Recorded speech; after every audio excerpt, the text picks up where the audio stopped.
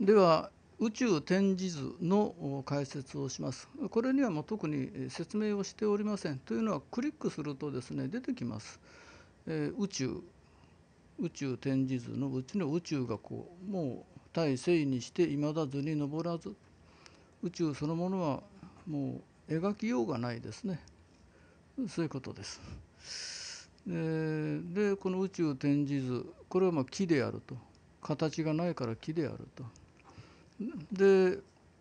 この図面白いですね。中心がないんですよね。で天にして「意」がある「意」これは宇宙方位図の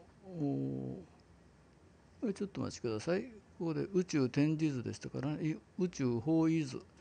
えー、意とありましたのでここで中外のことですね。で中外ですから中外図ってこんな字があって無限小の一点とその外のもう無限大の空間と。これを極小まで小さくすると素領域になる極大まで大きくするとこの一大宇宙になってしまう。で、えー、まあ130億光年前の光も届いているらしいですね。えー、まあそういうあの広大な宇宙空間を観測するのも地上の一点だし素粒子例えば水素の原子とかを見ると大体まあ中心の原子核とその周りを回る陽子なんてほとんど99.999999%ぐらい空間らしいですからあのまあこういう図で表される。まあ、湯川秀樹博士はこれをまあ素領域と言ったんでこの素領域理論からまあ神の物理学とかあの書かれていますけどもあの遠からずものを根拠にする物理ではなくて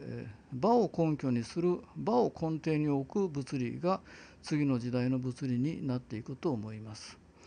えーと、湯川博士の素領域理論の後継者が、まあ、本当に優れた研究をなさっておられますね。安江邦夫先生とかあとおられますよね何人も。でこういう中にま構造を持ってくると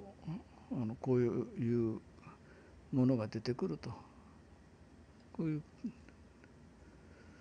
これについても解説しましたので省略します。で